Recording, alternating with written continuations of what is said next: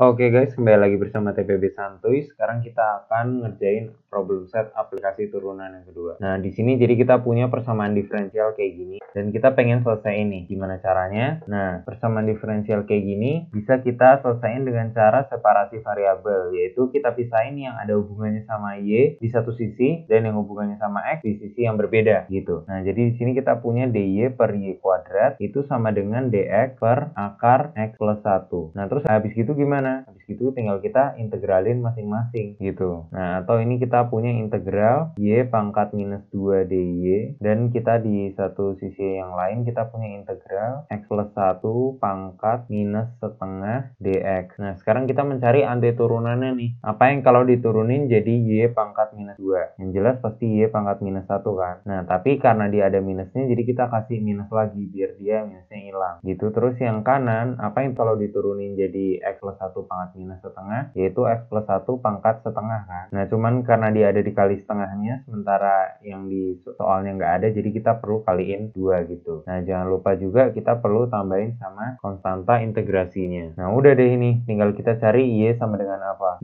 Min minus Y pangkat minus 1 ini kan minus seper Y kan? Nah berarti tinggal kita ubah sisi. Kita ubah jadi Y sama dengan itu jadi Y sama dengan minus seper 2 akar X plus 1 plus Y gini. Jadi udah deh, kita dapetin solusinya Y sama dengan minus seper akar 2X plus 1 plus Y. Oke, sekian pembahasan kali ini. Semoga bisa membantu kalian memahami materi ini. Sampai ketemu di video-video selanjutnya.